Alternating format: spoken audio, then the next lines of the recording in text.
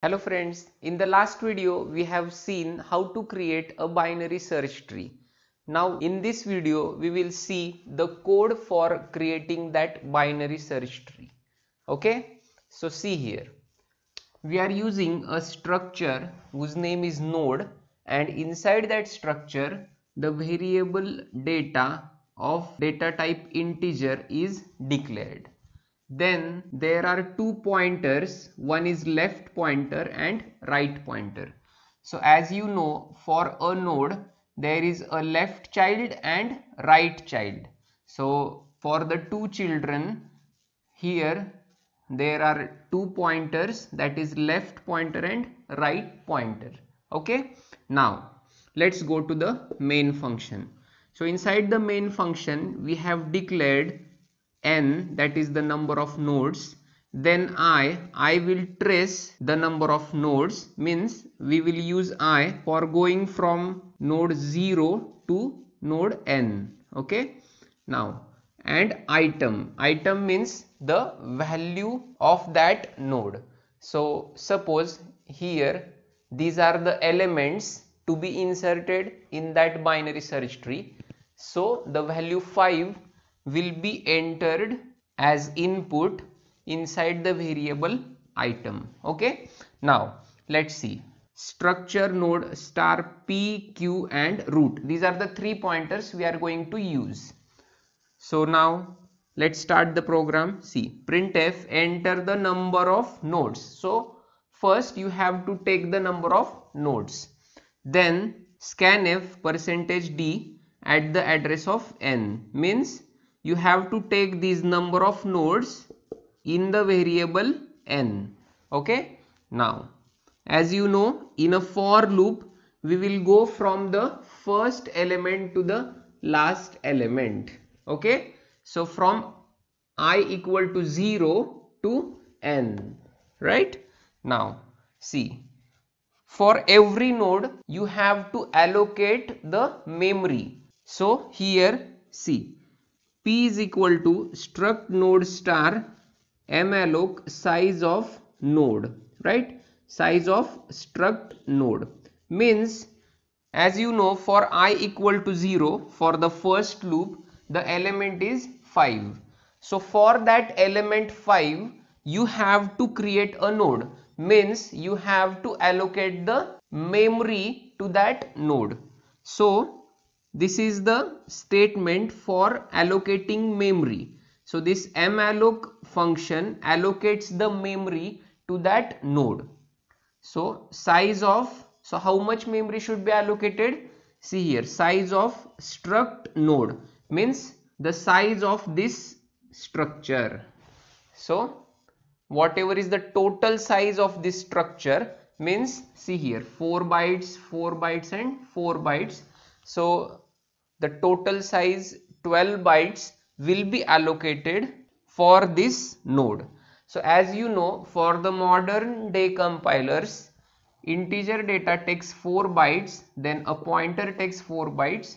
So left pointer and right pointer take 4 bytes each right. So 12 bytes will be allotted to this node. Now so as the node is created now you have to scanf the value of that node means you have to take the value of that node from the user. So scanf percentage d at the address of item. Means now the user will enter value 5 he will enter value 5 and we will take that value 5 inside the variable item. See here i have written these elements at first but when the program is actually executed at that time user will enter these values one by one. Means for each for loop for each loop one value will be entered by the user. As you know in all C programs how we give input to the program same thing is being followed here now p points data is equal to item. So in the variable item you have taken the value 5 so you will assign this value 5 to the data of that node right? Now the left pointer will be null and right pointer will become null. So in this way you have now created a node. For that node the value is 5 the left pointer is null and the right pointer is null. Okay? So for i equal to 0 means for the first element entered by the user you have created a node and you have assigned the values to that node. Okay? So creating a node taking value from the user then assigning that value to the data of that node and left pointer and right pointer. So this is the creation of the node. Okay. So you have created the node. The value is 5 inside that node and left pointer is null and right pointer is null. Now what to do with this node? How to find its correct position in the binary search tree. So see here here the program starts means the actual algorithm starts here. So if i equal to equal to 0 then root equal to p.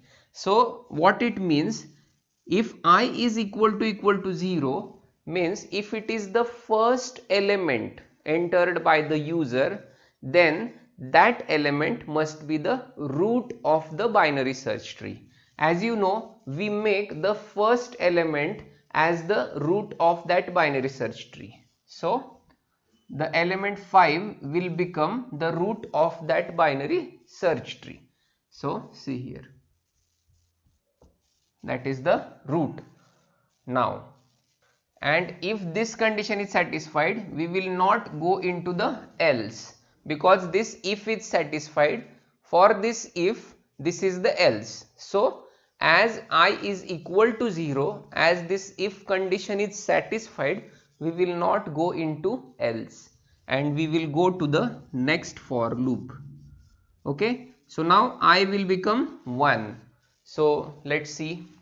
See this is the first element now. So when i becomes 1 the element will be entered by the user. That element is 7 we will create the node for that element and after you create the node see this will be the situation now. 7 its left pointer will be null and right pointer will be null. So this is the creation of that node. Now you have to find out the correct position of node 7 inside the binary search tree. Okay? So see if i equal to equal to 0 now i is not 0 now i is 1 okay so we will go inside this else. As you know in my last video I have told you for every element we start checking from the root. So the checking pointer is q. We are using pointer q to check the whole binary search tree. So q is equal to root. So q starts from the root. Now let's start the checking. While 1 see inside this we will check if p points data is greater than q points data. So what is the data of p now?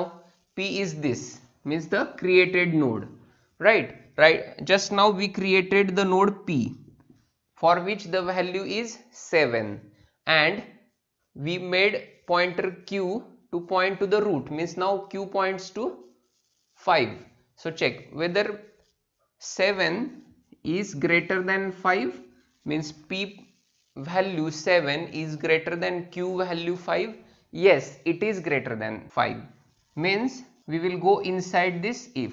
So check. If q points right equal to equal to null. So as you know whenever an element is greater than its parent it will go to the right. So we are checking whether at the right of that node means q whether there is an empty place to keep the new node. Okay? Is there an empty place? Yes there is an empty place at the right side of q. So we will keep that node at the right side of q. So p will be kept at the right side of q. Okay? So q points right equal to p.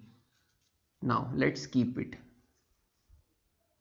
So here it will be 7 null and null. So no, node p is kept at the right side of q right? Now and then we will break. Because now we have found the correct position of the current node p now we will break. The checking is over now so we will break.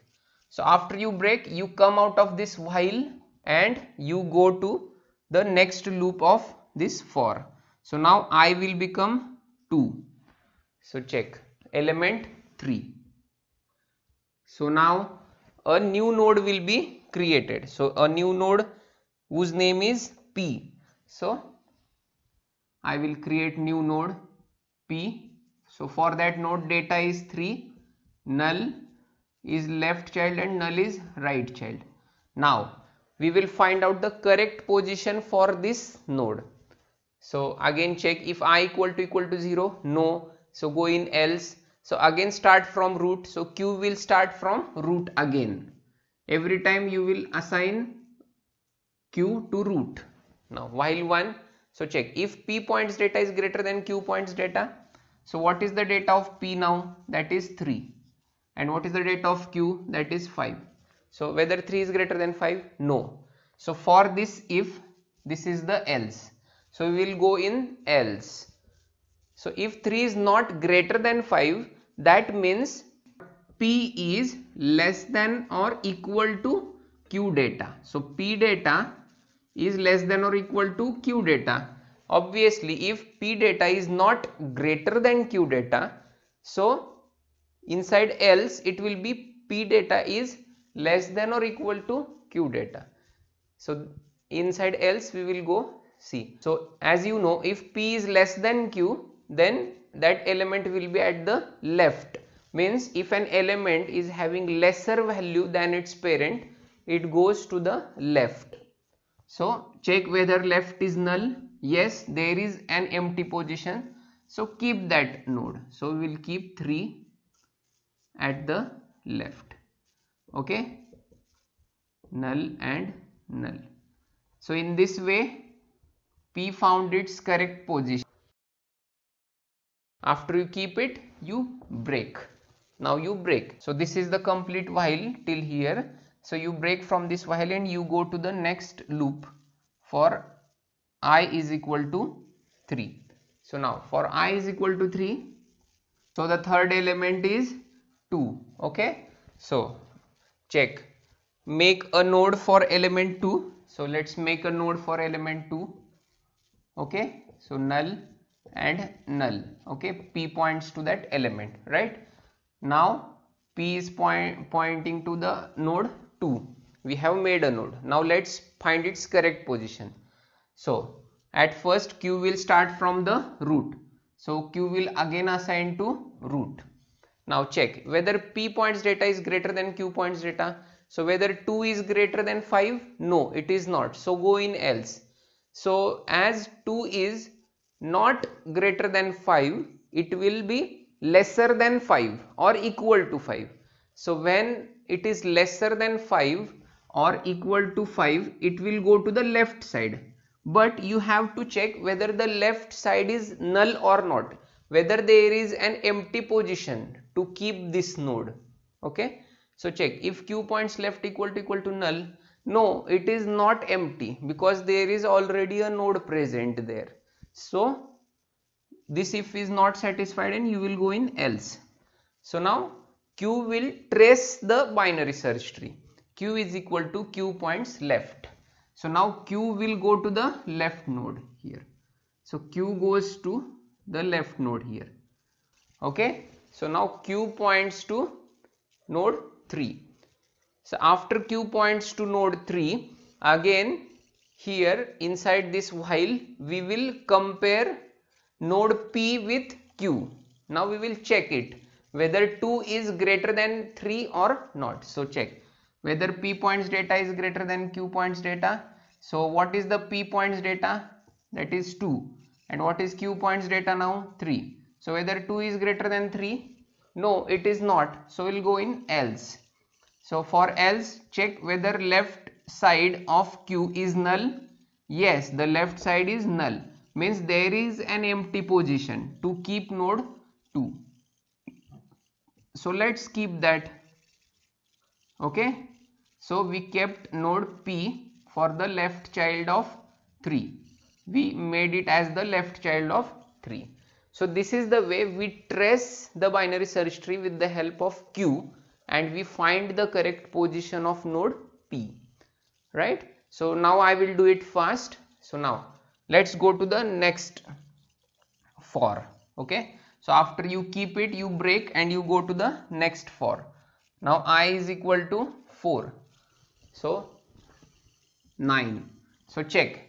For 9 so if p is equal to 9 and check. Inside else q will again go to root so q will again start from the root okay? For every node you have to start from the root. So now p points data is greater than q points data? Yes 9 is greater than 5 so check whether right child of 5 is empty whether right child of 5 is empty. No it is not empty. So you go in else. So q will jump to the right child. Means q will go further in the binary search tree to find out an empty position for node p. Now again check whether 9 is greater than 7 see whether p is greater than q means whether 9 is again greater than 7 yes it is. So check whether right child is null. So whether right child is null? Yes it is null. So that is the correct position. So node 9 will be kept there so with the help of node q we found out the correct positions of the nodes. So in this way for all the nodes we find out the correct positions. So these are the two important if and else conditions which decide the correct position of these nodes inside the binary search tree. So this is the code for creating a binary search tree. Hey friends, please subscribe to my channel as I post algorithm videos every day. And if you want a video on any particular topic then please mention in the comment below. Thank you.